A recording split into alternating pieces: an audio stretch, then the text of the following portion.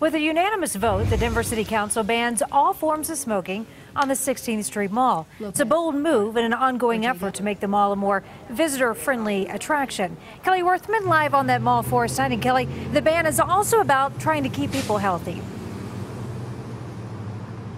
Well, that's what the Downtown Denver Business Partnership as well as health advocates say about the Breathe Easy campaign. But some people believe the smoking ban is really about image and pushing a certain crowd off the 16th Street Mall.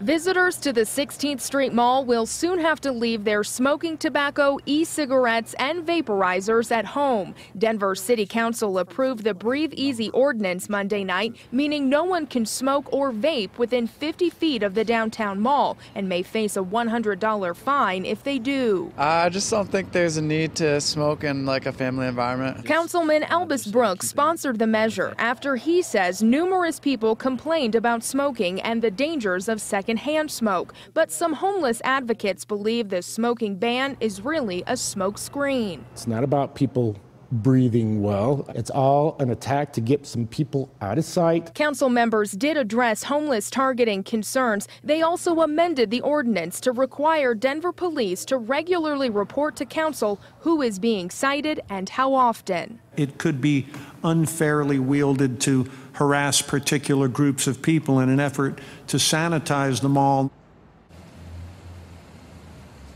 Now, the smoking ban does go into effect on December 1st, and we should note that Denver police say that citations are really their last resort. They're hoping to just get away with verbal warnings to have people move off the 16th Street Mall. And to help with that, Denver Health has given the city $10,000 to put signs along the mall warning them of no smoking. Reporting live in downtown Denver, Kelly Werthman covering Colorado First.